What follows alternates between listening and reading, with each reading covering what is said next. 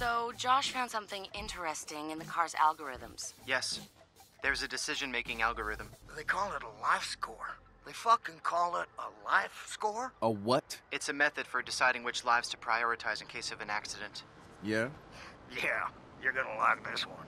The car's onboard computer has direct access to Blume's databases. It pulls up a score according to metrics Bloom sets employment, income, education, race, gender. Let me guess. Me and Ray get into an accident, one of us on either side. I'm SOL because I'm a young black dude. Not quite. As you know, I'm persona non grata with Blume. My life score is pretty damn low, so in that case, I'm SOL. But otherwise, yeah, you got the gist.